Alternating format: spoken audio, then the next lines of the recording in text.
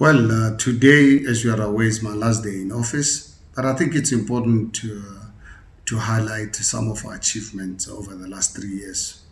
The first one, I think, uh, that makes me very proud is the uh, 7,000 uh, in-sourced uh, security and cleaners who today their take-home pay has increased by minimum of 50% with having benefits of a pension and a guaranteed uh, salary on, on a monthly basis. Secondly, um, the recruitment of a thousand uh, police officers who just graduated and the balance of uh, the 500 uh, to graduate early in the new year because what for me i believe the only way we can grow our economy is to ensure that we have uh, public safety as a new government, multi-party government, uh, we've uh, issued close to 9,000 title deeds to our people in three years.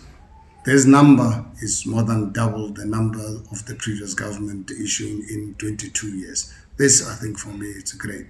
We have moved our investment in infrastructure when we took over from 58% to today to 71% so that we can capacitate the infrastructure that can assist us in growing our economy on the 1st of December 2016, I made a pronouncement that we want to the inner city into a construction site.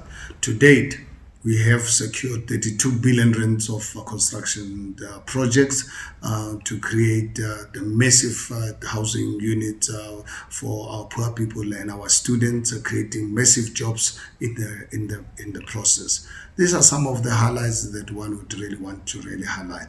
We've uh, tarred roads uh, in areas where people never used to really have uh, roads uh, before.